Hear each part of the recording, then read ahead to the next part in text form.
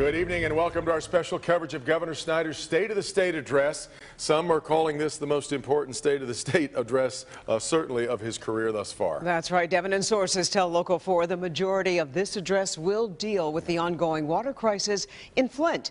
A crisis that will likely overshadow past achievements over the course of his two terms. There is word that the governor is going to call on lawmakers to approve an aid package for Flint. Uh, that would include uh, ongoing water testing, lead testing. Uh, it would also include a call for money to prevent water shutoffs to customers. And there you see a live uh, Picture from Lansing today. You know, just today, two more class action lawsuits were filed over the state's handling of the water crisis.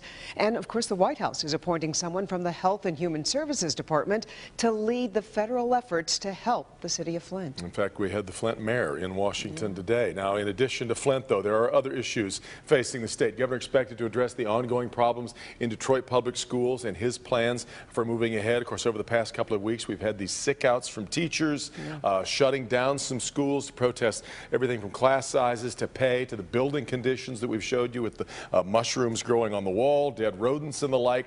Uh, the governor's plan to split the district in order to deal with the debt. Uh, that's just on Detroit education. So there you're talking about two enormous issues in Detroit schools and the Flint water crisis. Uh, and, and, of course, if you're outstate, you see a lot of other issues that he needs to try and, well, and cover as well. Both of these issues have gained national attention, and certainly there are questions over overriding questions that have to be answered. For example, not with Detroit, but certainly with the water crisis, is what did the governor know and when did he know it? And we still haven't gotten a definitive answer on, on either one of those questions because they need to know that. And we've certainly seen protesters uh, who have gathered in Lansing tonight to, to protest the governor as he uh, delivers the State of the State address. And so perhaps he is going to address that in this very, very important speech tonight.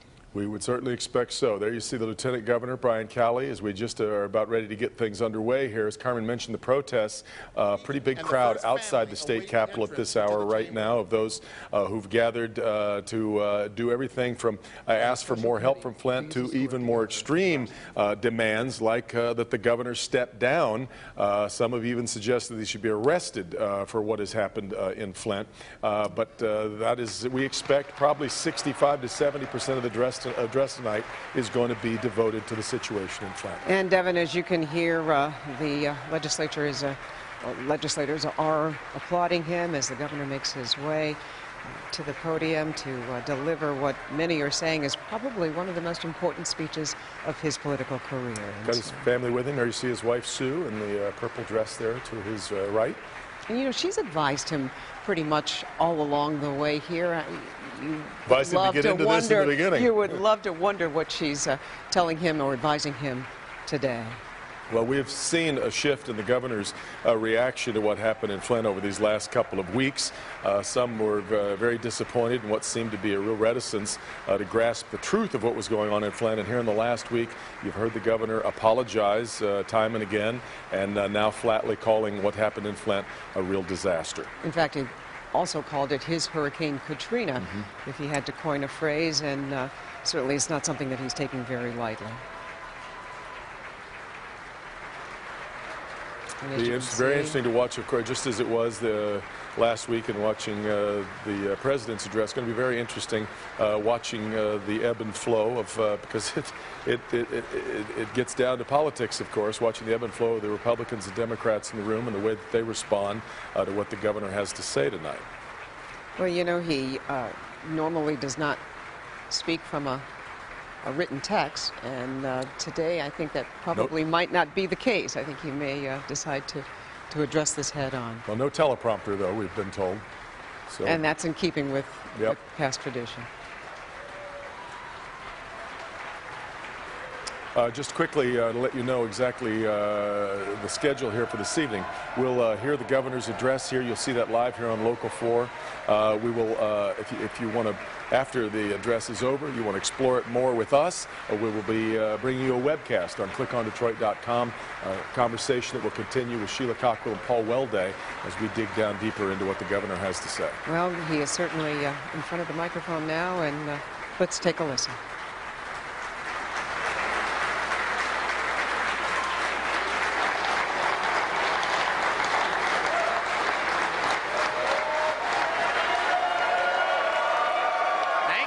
Thank you very much.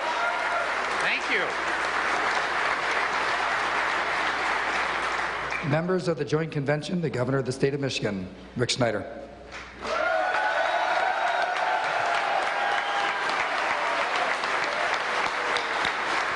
Well, thank you. Thank you very much. Please be seated. Thank you.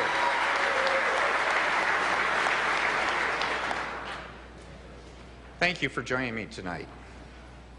To Lieutenant Governor Brian Calley, Speaker Kevin Cotter, Senate Majority Leader Arlan Meekhof, Senate Minority Leader Jim Ananich, S- House Minority Leader Tim Greimel, um, members of the Supreme Court, members of the Court of Appeals, Secretary of State Ruth Johnson, Attorney General Bill Schuette, Congressman Fred Upton, Congresswoman Brenda Lawrence, my cabinet, ladies and gentlemen of the legislature, fellow public servants, citizens of Michigan, and my family, I welcome you here tonight. I'd like to begin by also adding a special welcome, and that's to our active duty military, reserve, and National Guard members, members of law enforcement, and our veterans. Let's give them a shout out too, please. Thank you.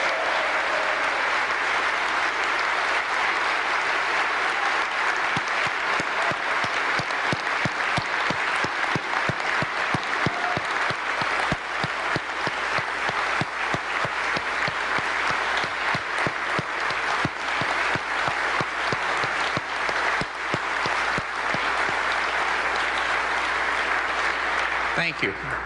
I do want to share one special situation with you with respect to our military.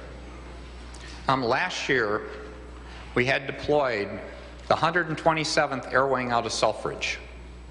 The 127th has two key elements until, in terms of their aircraft.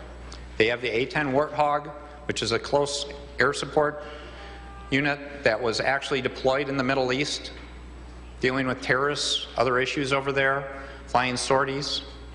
It also is the K-135 tanker, which actually was deployed refueling aircraft like the Warthog and other aircraft to make sure they could run those missions. We should be so proud. Our A-10 pilots actually flew roughly the equivalent of three years' worth of flying in six months. In terms of the KC-135 pilots and their teams, their crews, all of them together, they did incredible work. They actually have a very special mission critical role that they had a special inspection take place why they were deployed. And they did something that had never been achieved in the history of the Air Force, not just the Air Guard. They actually had an inspection where they showed 100% of the members of that unit received 100%. They were perfect. And so that shows the spirit of Michiganders. And to recognize them, I'm very proud to say we have Brigadier General Leonard Isabelle, the commander of Michigan Air National Guard. We have Brigadier General John Slocum, the 127th Wing Commander with us from Selfridge. And we have Command Sergeant Major Daniel Lincoln, our State Command Sergeant Major. If you could all rise and if we could give them recognition for their incredible effort.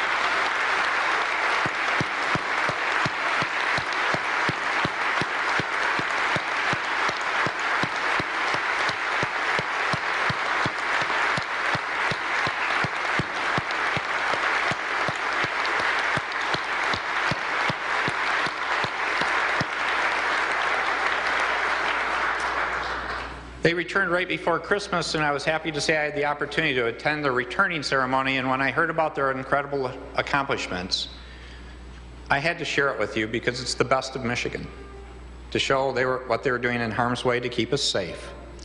In addition, it's important we recognize we have over 400 Michigan National Guard members currently serving overseas as I speak today. And all of Michigan should be glad to hear that Amir Hekmati of Flint, a Marine veteran, was finally released from Iran and will be welcoming home here soon in Michigan.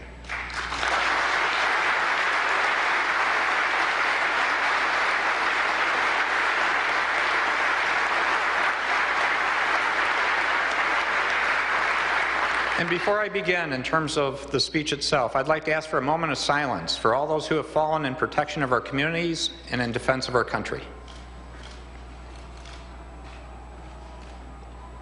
Thank you. Tonight will be a different State of the State address. There's so much we could discuss about how we can make our great state even better, stronger over the next year. But tonight, I will address the crisis in Flint first and in depth. To begin, I'd like to address the people of Flint. Your families face a crisis, a crisis you did not create and could not have prevented. I want to speak directly, honestly, and sincerely to let you know we are praying for you, we are working hard for you, and we are absolutely committed to taking the right steps to effectively solve this crisis. To you, the people of Flint, I say tonight, as I have before, I am sorry and I will fix it. No citizen of this great state should endure this kind of catastrophe. Government failed you, federal, state, and local leaders, by breaking the trust you placed in us. I'm sorry most of all that I let you down. You deserve better. You deserve accountability. You deserve to know that the buck, stops here with me.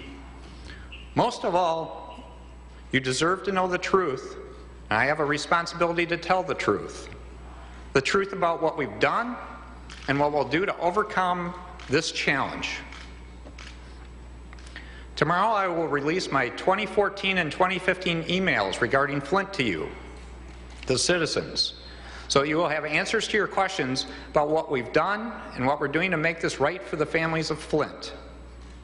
Anyone will be able to read this information for themselves at michigan.gov slash Snyder.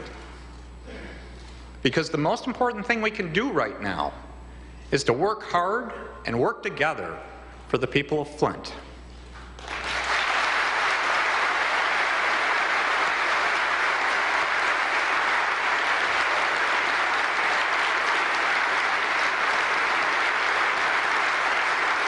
Thank you. Thank you. Please be seated. I know apologies won't make up for the mistakes that were made. Nothing will. But I take full responsibility to fix the problem so it will never happen again. Let me tell you what's been done so far and what we'll be doing in the coming days, weeks, months, and years to keep our commitment to you, to make Flint an even cleaner, safer, stronger city than it was before, because that's what you and your families deserve. We are working to do whatever we must until this crisis is resolved. The people of Flint have chosen a new mayor, and I'm personally committed to work hand in hand with Mayor Weaver so we can rebuild the trust that's been broken. I've already taken steps to bring new leadership to the Department of Environmental Quality. These are individuals who understand the severity of the problem and who will effectively communicate to the people of the state. For those whose mistakes contributed to this disaster, we are fully cooperating with investigations and will hold those individuals accountable. And let me be perfectly clear to all of state government. And the, in situations like this, they must come to my desk immediately, no delays, no excuses, period.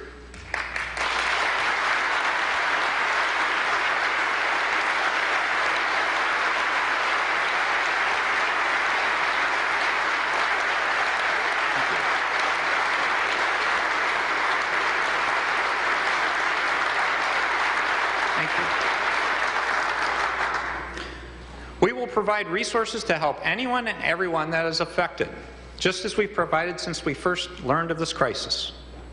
In addition to emails, tonight I'm releasing a comprehensive timeline of the steps we've taken and the actions underway to solve this crisis. Let me walk you through the facts. First, this crisis began in the spring of 2013 when the Flint City Council voted 7 to 1 to buy water from the Karegnondi Water Authority, the KWA. Former Flint Mayor Walling supported the move, and the emergency manager approved the plan. DWSD, the Department of Detroit Water and Sewer Department, provided notice of termination Effective one year later, and on April 25, 2014, Flint began to use water from the Flint River as an interim source. Second, soon after the switch from Detroit water to Flint River water, residents complained about the water, the color, the smell, rashes, and concerns with bacteria. Ultimately, localized boil water advisories were issued by the City of Flint in August and September of 2014, each lasting several days. Third, the Department of Environmental Quality and the Federal Environmental Protection Agency began communicating about lead concerns in February 2015. Sadly, both were ineffective in fully addressing and solving the problem. DEQ misinterpreted the water safety regulations, and EPA did not act with sufficient urgency to address the concerns of one of its experts about DEQ's approach and the risk of lead contamination. In May 2015, lead service lines to one residence were removed and replaced due to high lead service levels. But still, they both failed to systematically identify and solve the problem. Fourth, in July 2015, my office proactively asked about the quality of Flint's water, test results, and blood testing. The DEQ told us that Flint was in compliance with the lead and copper rule. They told us there was one concern with one house that was corrected and there was nothing widespread to address. The Department of Health and Human Services also told us that the elevated blood lead levels were to be expected because they followed a normal seasonal trend. These conclusions were later shown to be incorrect when the Department of Health and Human Services conducted a deeper analysis of the relevant data. Fifth, in May, Professor Mark Edwards from Virginia Tech and Dr. Mona Hanna Attisha sounded an alarm about lead in Flint's water. But the, tragically, based on what DEQ and the Department of Health and Human Services had seen on the ground, they initially failed to reach the same conclusion. I want to thank the professor, the doctor, and the concerned pastors of Flint for bringing this issue to light. We are actively investigating why these agencies got it so wrong. And I believe we have Dr. Attisha Hicks Attisha with us here tonight, and I'd like to recognize her. If you could rise, please.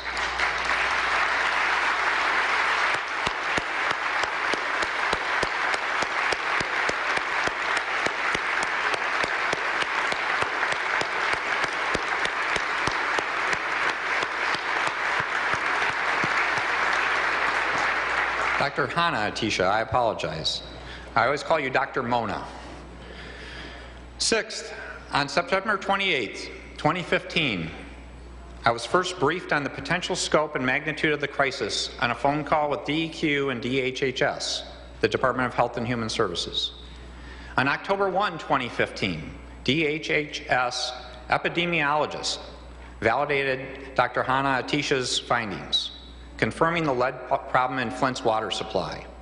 At this point, I immediately ordered them to develop and implement a 10-point plan that included the immediate distribution of water filters, immediate testing water in schools, expanded water and blood testing for anyone that might be exposed. About 12,000 filters were distributed, 700 water tests, and 2,000 blood tests were conducted within the first three months. 7th, and October 8th, I announced that the Flint water system would be reconnected to the Detroit water system to minimize any further damage. And later that month, I announced the independent Flint Water Task Force to review actions that had occurred so far and to make recommendations to address the crisis. Eighth, the task force issued its initial actionable recommendations and identified critical problems in mid-December. Specifically, they pointed to a primary failure of leadership at the DEQ and a culture that led to this crisis. The task force was right, and I immediately took action, appointing new leadership at the department. Ninth, I declared an emergency in Flint on January 5th so we could access additional resources and mobilize additional support, including the Michigan State Police and the Michigan National Guard. These critical resources were needed to help families get clean water and any, end any risk or exposure for every resident of Flint. I also requested a presidential declaration of federal emergency, which was granted. And to the members of our congressional delegation who are here tonight, this is a challenge we must work together to solve, and I look forward to working with you to bring additional support from the federal government to the people of Flint. 10th, to date, more than 37,300 cases of water, more than 53,700 water filters, and more than 7,300 water testing kits have been distributed. More than 21,300 homes have been visited. This is not enough. I'm increasing the support from the Michigan, National Guard starting tomorrow to ensure that every home we need to visit in Flint gets visited as soon as possible. And I'm appealing the President's decision not to grant a major disaster declaration.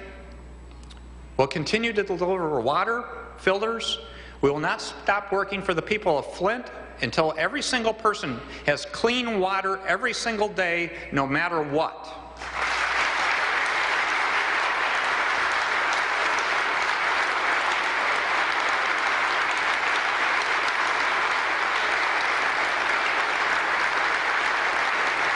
Thank you. Thank you.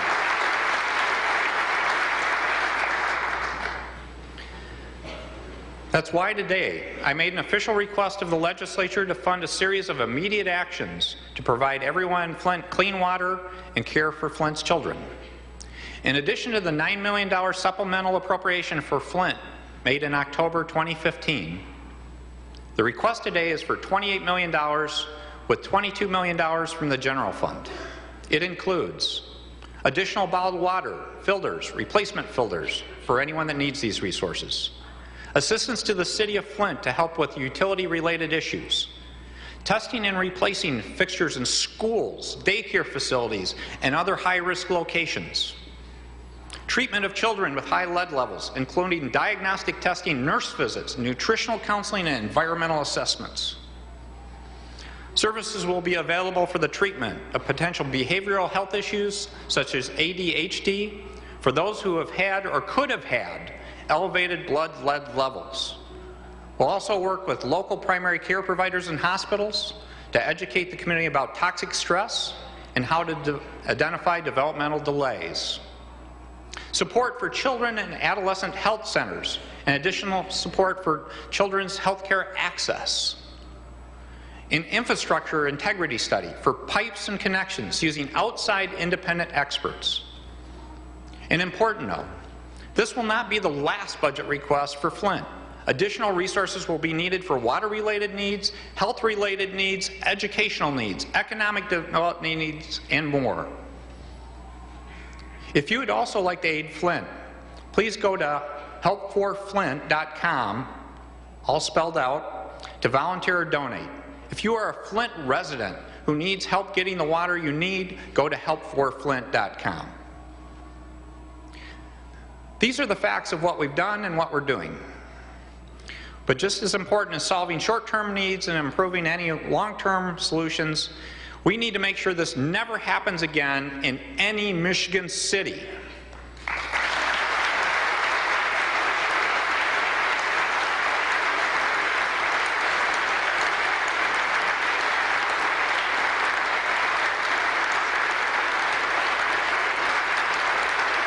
Thank you. We began this process by creating the Independent Flint Water Task Force and asking them to report on exactly what happened, what accountability measures must be in place, and what investments need to be implemented. This month, I issued an executive order to ensure that state and local leaders have everything they need to clean up this mess, ensure that anyone with lingering health care concerns is quickly, compassionately, and effectively treated. I know there will be long-term consequences, but I want you to know that we'll be there with long-term solutions for as long as it takes to make this right. There can be no excuse. When Michiganders turn on the tap, they expect and deserve clean, safe water. It's that simple. It's that straightforward. So that's what we'll deliver. To the families in Flint, It is my responsibility, my commitment to deliver. I give you my commitment that Michigan will not let you down.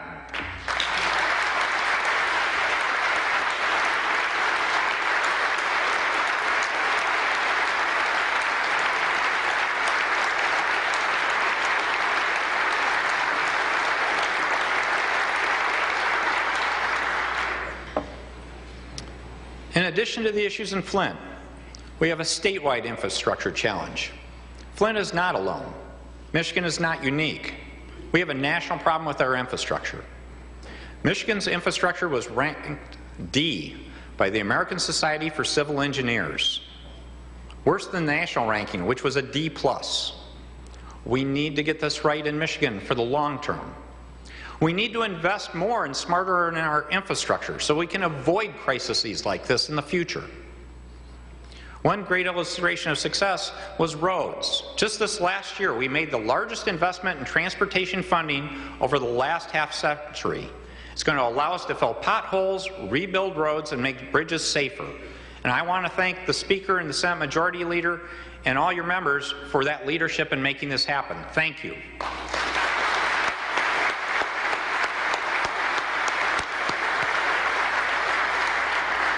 But more than roads, we have a hidden problem. We see the rusting bridges, we drive on the roads and feel the potholes and cracked concrete. But underground, some pipes are over 100 years old. Some are made of wood, others made of lead. Many burst in the winter. Out of sight, out of mind, until we have water problems, our power goes out, our sewer backs up from a flood, or our freeways flood because the pumps don't work. Lead pipes, aging natural gas infrastructure, wastewater overflows, energy reliability, ports needing emergency dredging, Line 5 underneath the Great Lakes, even the Soo Locks. We need to have better solutions. We can come up with better solutions. One illustration I want to note is we've made progress with respect to iron pipes for natural gas transmission. Across Michigan, we have many miles of aging iron pipes for natural gas. This isn't a theoretical risk, there is a real risk there. I want to compliment the Michigan Public Service Commission back in 2011 for identifying this problem and starting to take action. They made a commitment that required raising rates, but we've started to replace a number of those old cast iron pipes to make it safer for people, for the environment. We were smart. We began the process when costs were low, so we could afford to replace those pipes. We still have many more pipes to go, though. This is the kind of problem solving we need in the future. Now, here are some actions we can immediately take on our infrastructure. First, I want to issue an executive order. I will issue an executive order to the Michigan Department of Transportation that they will confer with local officials and utilities every time we do a new road project because it's the best opportunity quite often to replace that aging infrastructure underneath those roads when that road is torn up. We can save money, we can do this smarter. I asked the legislature to consider looking at the same issue when local government does road projects and how we can partner to say if those roads are torn up, let's do more while we have that opportunity. When lead investigations are made in the state, we don't currently do this, but we should be checking water sources in critical areas, in addition to checking for paint, dust, and other environmental factors. We should be ensuring that all schools in Michigan test for lead, putting a priority on those in areas where we know they have aging infrastructure or lead problems in the past. And we should be increasing nutritional and lead education efforts in schools as well. Now, overall, we need a smart strategic plan for all of this. It requires an honest assessment of the challenges, opportunities, and costs. That's why I will be creating the Commission for Building the 21st Century Infrastructure. We need experts steeped in credibility and clout, visionary leaders committed to Michigan's future. They'll study what Michigan needs, develop a plan for making the right investments in water, sewer, transportation, broadband, and other areas and also discuss how we will pay for these investments. And I'll ask for their report in September of this year. In addition to infrastructure in Flint, I now want to talk about Detroit and education. Great challenges cannot be addressed without hard work, long hours, and true partnership with the communities in need of new hope and a fresh start. But solving them is not impossible, and certainly not without precedent. Let's look at Detroit, one year after leaving bankruptcy. As Detroit continues to rebuild, it should give every city in this great state the hope and belief that we can deliver new opportunities for everyone. Who would have dreamed possible that the idea that just a year after bankruptcy, our state's largest city has become a hub for innovation and excitement? There's dynamic economic growth in the downtown and midtown, and it's keeping and drawing young people to our state. It's important to note there's much more work that needs to be done, especially in the neighborhoods. But progress is evident everywhere. There are over 59,000 lights have been turned on. More than 7,600 structures demolished since 2014. Violent crime is down 18% since 2012. We're showing what Detroit can do. And as part of that, I would ask recognition for Mayor Mike Duggan, who's with us tonight. Mike, please stand up.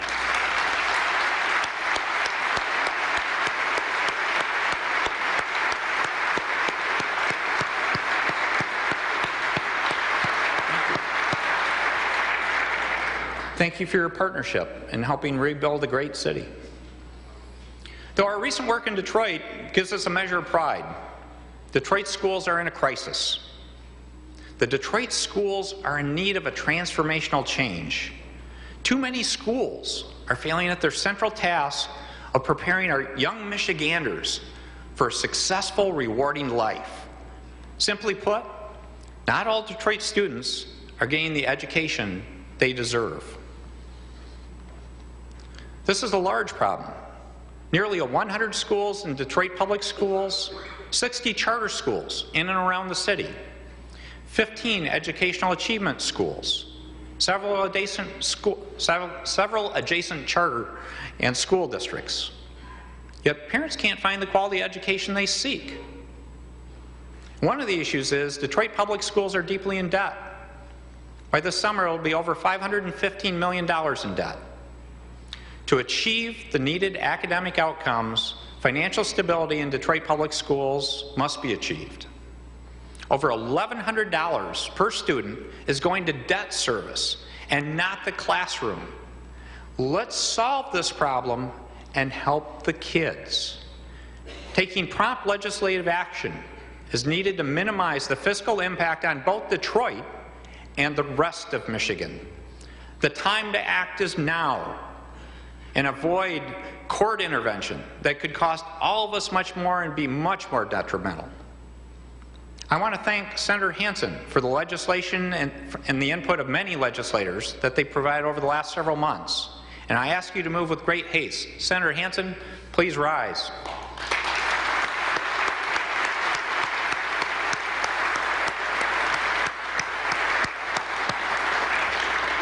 We should be proud we have a West Michigan legislature taking the lead on solving Detroit public school issues. The Detroit Education Coalition also recommended a Detroit Education Commission to help students achieve better results in all Detroit schools. This is a good idea, but it hasn't drawn much support. We should keep looking at this key element to help Detroit's kids. The School Reform Office, working with Detroit Public Schools and local leaders, will actively address these issues in lieu of the Commission. All of us, from state and local officials, education to charitable and civic leaders, parents to concerned citizens, need to work together quickly. The challenges are well known, the alternatives are defined. Now's the time to get something done. Great schools are critically important, both to the city of Detroit and the entire state of Michigan. Let's address this decades long crisis now.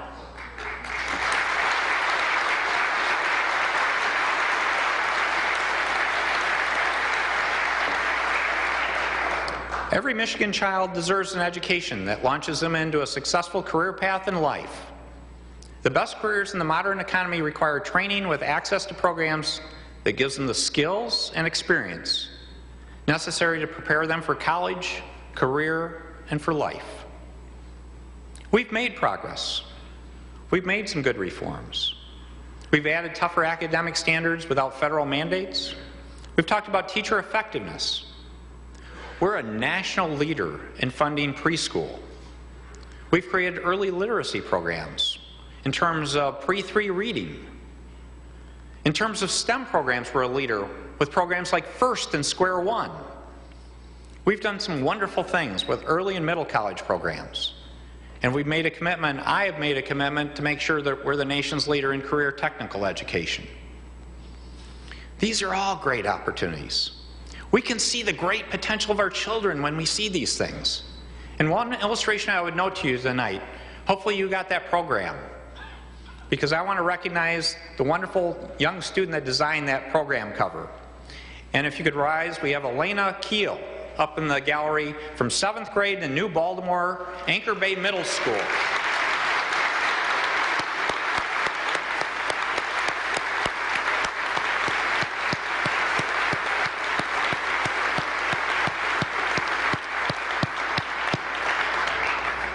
Elena, you're the future of our state, and I appreciate your parents bringing you here tonight. I like that thumbs up.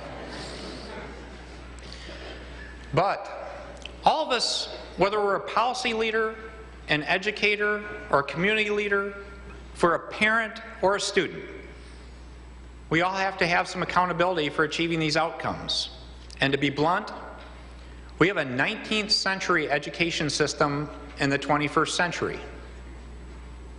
It's time to ask ourselves why. We have two comprehensive studies coming in 2016 to help with this issue, one on school funding and another on career and technical education. We've done some wonderful task force with actionable items. One that I'm particularly proud of is what we did with pre-3 reading that was completed. We have another one coming soon in special education in terms of the recommendations, and we have one on STEM coming. But more needs to be done. I want to recognize the partnership of our state superintendent and the state board. Brian Whiston has done a great job. He actually went through a very complicated process with multiple stakeholders and developed an excellent set of goals to make Michigan a top 10 state in 10 years. Brian, please stand up so we can recognize you.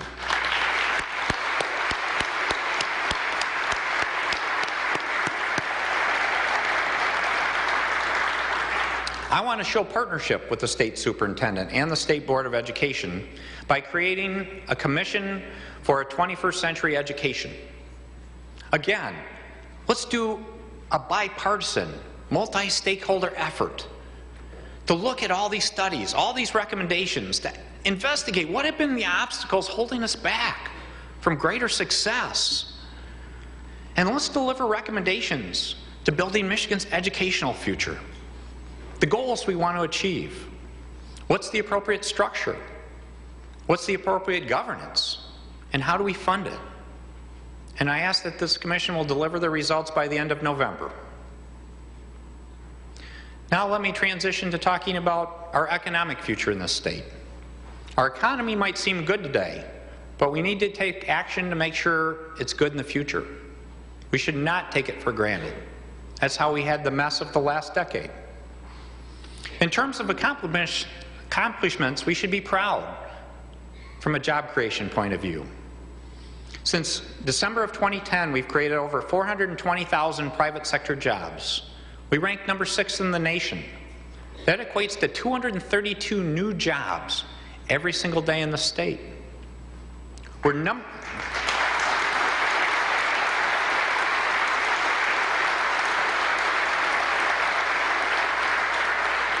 We are number one in the nation in manufacturing job growth. Our unemployment rate has been cut by more than half since December 2010. We're third in the nation for the largest reduction in unemployment in that time period. Importantly with it though, it's not just about more people working, personal income is increasing again in Michigan. We saw a huge drop in that last decade, the lost decade. I'm proud to say in 2014 it increased 3.9 percent, more than doubling the prior year's growth rate of 1.4 percent. But it's important to remember that not everyone has participated in this comeback, and we need to take special efforts to make sure the people and places that have not participated join us. We have created programs to do this, but we need to continue to ramp them up. With respect to our urban areas, in particular, places like Detroit, Flint, Pontiac, and Saginaw.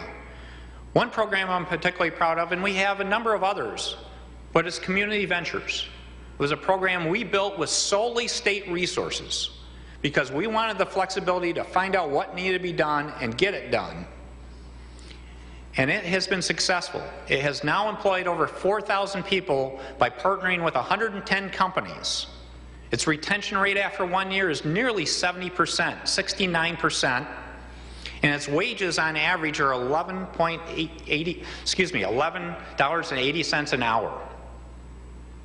If you think about it, what a great start, but what I'll tell you is that's not a final point. That's a point to get people successfully working that haven't. Then we can apply traditional programs to give them upward mobility, more opportunity for a bright long-term future.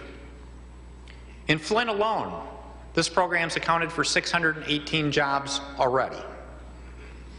We need to help other places, though. I mentioned our urban areas. But too often we forget we have rural communities, we have smaller communities that also suffer great poverty. And we cannot leave them behind either. So I'm proud to say last year we launched a program called Rising Tide.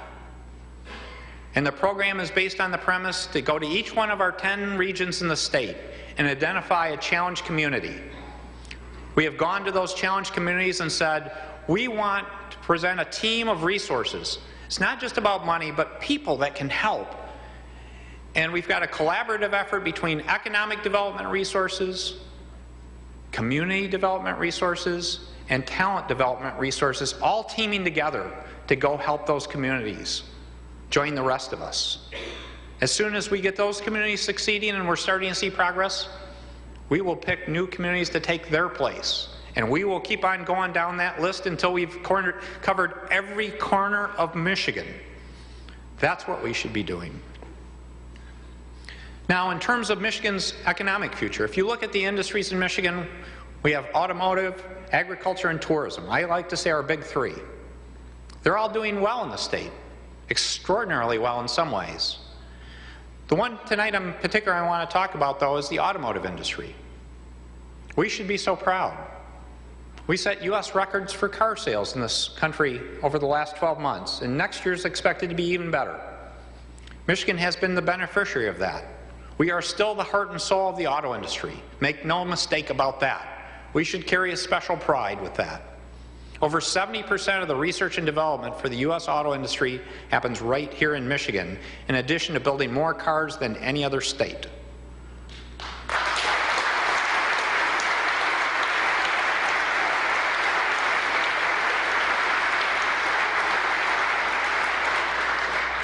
But I want to share something with you. It has been a tremendous opportunity and a privilege for us to help support that industry and the wonderful, hardworking people on the lines building those cars, at the supplier base doing that hard work to make the world's best products. But we have a threat. I can tell you, if we did what we did in the past, we could lose the auto industry out of our state in terms of leadership. Why is that? Because the auto industry is transforming to something new. The world is changing. What is the automobile industry of today in 10 or 20 years will be called the mobility industry. It will be about how people travel, not just about the vehicle they travel in. And it's time now to understand we need to be looking towards the future, not just admiring the past. So this area in particular, we need to make investments, and we have started that process. We have made some good investments. The primary being the area of intelligent vehicles autonomous and connected vehicles, and smart infrastructure, and how it communicates with vehicles. Several years ago, we created something exciting in partnership with the University of Michigan and a lot of partners called the Michigan Mobility Transformation Center. This is actually a real project that you may not realize is taking place in southeastern Michigan. They literally have a test bed of thousands of connected vehicles talking to infrastructure even today. And when I say connected vehicles, do not worry. Many of you may confuse that with autonomous vehicles. These still have drivers in them. so you can feel safe on the road. But this is part of our future, and we need to do more. Just this last year, we did a partnership and launched something called the M City. It's a 32-acre campus on, at the University of Michigan that is for testing autonomous and connected vehicles. A closed-loop system It has many different environments. It is swamped. The auto industry has overwhelmed this place with demand because they're looking for a place to do this kind of work. So M City is not good enough. So what I propose to you, and I've already been working in partnership with our congressional delegation, and I thank them for their efforts, is to look to create the American Center for Mobility at Willow Run. We have an opportunity to create over a 300-acre campus that would be the world's best place to test intelligent vehicles, whether autonomous and connected. And this place is critically important. The industry needs it, but we need to bring in the federal government and say this is the place where the standards for safe operation should take place, is right here in Michigan at Willow Run. And it can be the base for international standards. That's how we can help keep leadership of the auto industry in Michigan by making that future looking investment and doing the right thing to make sure that really exciting car you saw at the Detroit Auto Show in 10 years, just think, it will still have wheels, but it's a computer on wheels. We need a place like this to make sure we maintain our leadership for the long-term future.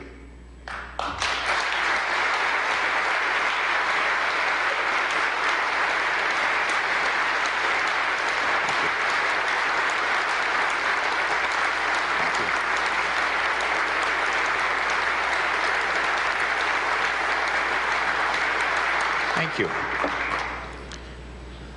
The last item I talked about, about automotive going to mobility, was an opportunity that could become a threat. Now I want to talk about something that's been a great opportunity for, for many years, but we face a major threat. It's the Soo Locks. The Soo Locks is something we always talk about and we're proud of, but often we don't talk about how important it is. More than 4,000 commercial ships a year use the locks annually. The locks are absolutely crucial to supplying the iron ore that makes the steel for all those vehicles I just talked about, and many of our appliances.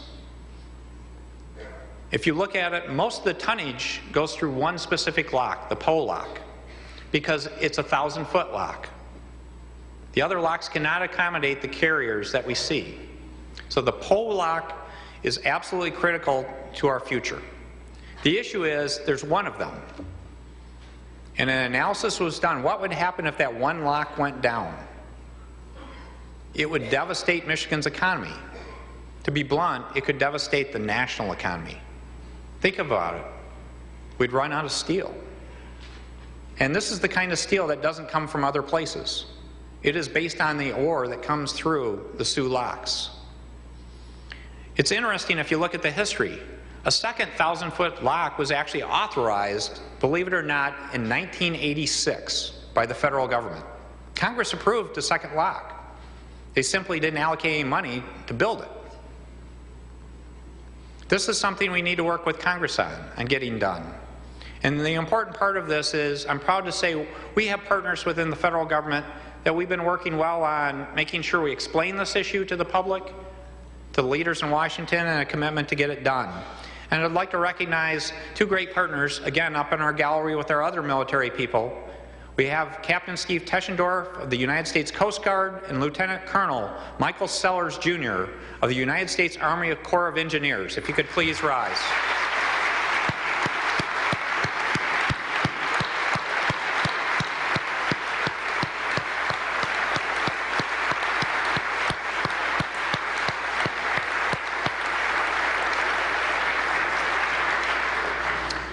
Just as I mentioned a commission on infrastructure, a commission on education.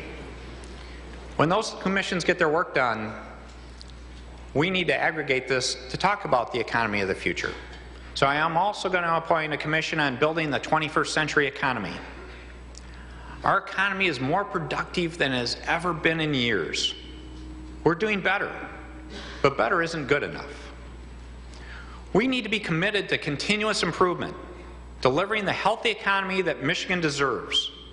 One that provides opportunities for every Michigan, every person that wants to work hard, get ahead, and stay ahead. Let's build on that work of those first two commissions, but let's also add the concept of innovation and long-term economic tools and creating a culture of continuous innovation. And I'm proud to say we have a group that really represents that here tonight. I made a trip to the Upper Peninsula last year, and I went and visited Northern Michigan University. And they took me to a place, I think it was an old bank branch. It wasn't even near campus that much. And I walked in, and it was about students helping inventors. Bring I- the inventors were walking in with ideas. The students were talking to those inventors about the ones that could be made into real products. And it's happening right up in Marquette today. This is a program that should be all throughout Michigan. Think about this engaging our students with our inventors, creating new economic opportunities. It's exciting. And so I ask that you give recognition. Also with us tonight in that same section of the gallery is we have a group of students and some of their leaders from Invent at NMU. Please rise.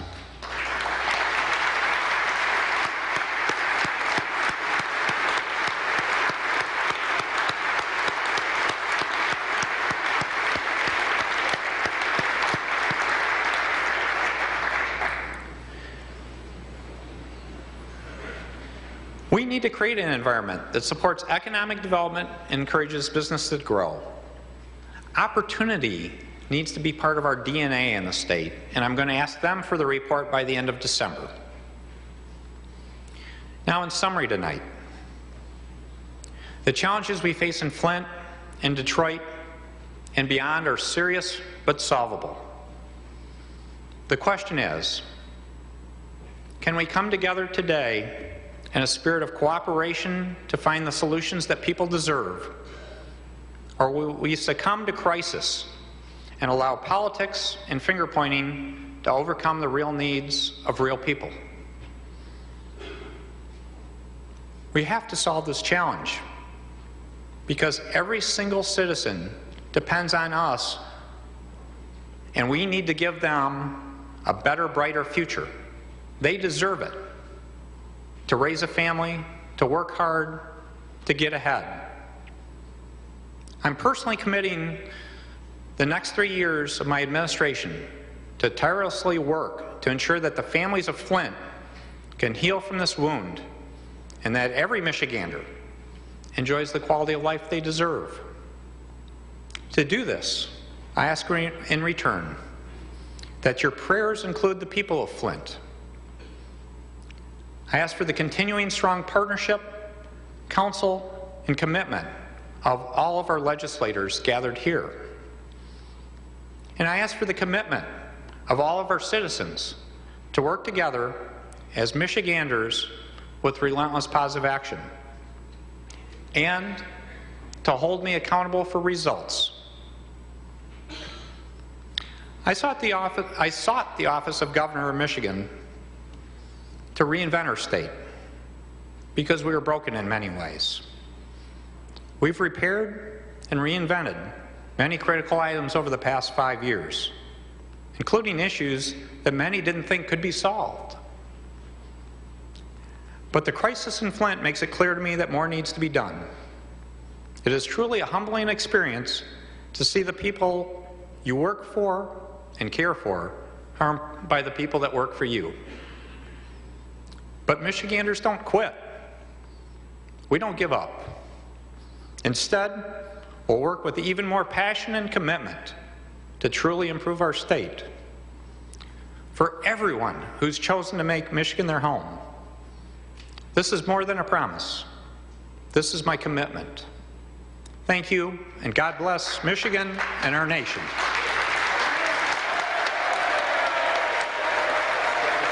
State of the State address, uh, spending as we promised uh, the bulk, uh, the lion's share of the time tonight talking about Flint, 20 minutes there at the beginning of the address, and then returning to that again as uh, he brings it to a close. I've known Rick Snyder now for a long time. I've never seen him as emotional as we saw him His here voice uh, actually tonight. choked up a, a few A number of times, times. Devin. But I guess what I expected to hear too, and, and maybe I'm not just so sure that uh, it is elevated to the prominence or the